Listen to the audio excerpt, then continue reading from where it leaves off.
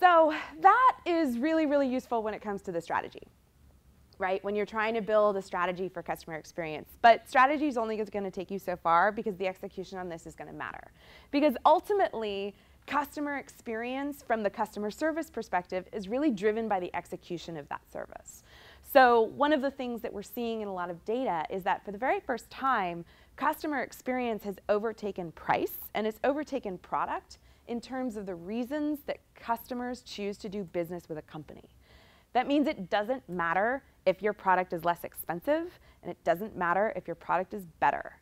If you can't deliver the experience that your customers are expecting, they're not going to choose to do business with you, right?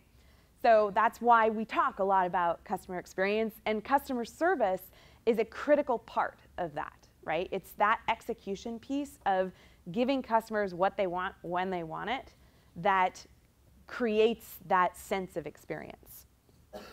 So the big thing that I want to mm, think about for, or the, the thing that I want to sort of broach for everyone here is that this feedback loop and building structure around this feedback loop and making sure that it's easy for your customers to tell you what they think and to tell you what they're feeling about the way that you are interacting with them is absolutely critical. Because when you think about customers that don't do business with you, more than 90% of them aren't going to tell you why.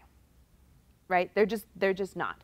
And that may be because they don't have a way to because if you think think about it as a human, right? We're all humans. Everybody's a human, right? I'm getting like zero nods. Yes. Everybody's a human, right? Okay, great. So if everybody's a human, if you are really angry, then you'll say something, right? If you are really irate, annoyed, whatever your adjective is, if you are feeling that passionate about it, you will absolutely say something. But if you're just kind of like, that was hard. I, I'm gonna, I'm gonna, I'm gonna go over here. You're not gonna tell the company what was hard. You're not gonna, you're not gonna explain yourself because it's too much trouble. So you're not to hear very much from people that are having a bad experience because either you didn't ask them or it's not bad enough for them to complain. It doesn't mean it's not, not working for you. So be open to that feedback. Create systematic ways to solicit that feedback whether it's as part of the buying process, whether it's in every customer service interaction, having some, some kind of survey to say, how was it? It's easy enough to click a button 1 to 10. How did that service interaction go? The thing that's really cool about being a startup and starting from scratch on all of these things is that technology levels the playing field for you. So if you are working to connect your product or service into your customer's life so you can deliver on those expectations of a great experience, there's a lot of different ways that you can do that. And the first one that I really want to emphasize is building a process.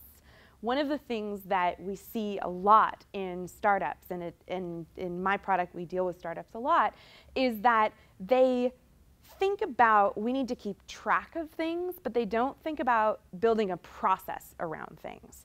And keeping track of things, spreadsheets are super useful for that, right? If you, who here uses Google Docs, right? Most people use Google Docs, either professionally or personally, right? And it's easy to everybody, for everybody to get into a collaborative spreadsheet and type stuff in, right? But it doesn't trigger anything. It doesn't create a process. It doesn't make sure that everything is caught. The same goes for a shared inbox right? One of the things that we see, especially when it comes to customer service, is that the first thing people do is they set up support at mycompany.com, right? And that's great, right? Sometimes when you start, that just comes to the CEO, but it says support at mycompany.com, so it feels like customer service. The problem is, as soon as you get past that one person using an inbox and you start sharing it with two people, that is really not what email was designed for right? It's really hard to keep track of all those requests. It's really hard to create a sense of ownership or assign emails to particular people without creating a lot of extra noise and a lot of extra work. So when we think about building a process, make sure that there's a way for you to leverage technology to make that process work for your company and set yourself up for success from the start instead of when you're in the middle and things are breaking, right? When we think about customer service, we also think about self-service, so that you know a frequent a set of frequently asked questions that you can that you can have as part of your website can deflect a whole lot of questions coming your way, and it'll be pretty easy for you to figure out what those questions are at the start, right? 80% of those questions are coming in should have pretty consistent answers that don't really depend on who the customer is. Make that kind of thing public Make it something that you can send people to, that they can learn how to do that. One of the things that we see statistically is that almost three quarters of customers, before they reach out to a company, go to the internet first. Right? They go on their mobile device and they type in whatever it is they're looking for, and they find the answer to their question without having to contact the company. Which means anything that you do from email or phone or anything like that you should see as an escalation point. You should start with that self-service piece and then recognize that if a customer is reaching out to you, it means they weren't able to resolve the issue on their own. And all of this, again, comes back to totally valuing your customer's time. So the reason that we encourage companies to start thinking about this really early is that it's really hard to keep customers happy while you're going fast if you don't have the process and structure in place to do that one of the things that starts happening is customers fall through the cracks, or they'll email you two or three times to say, hey, I'm still waiting, I'm still waiting, I'm still waiting.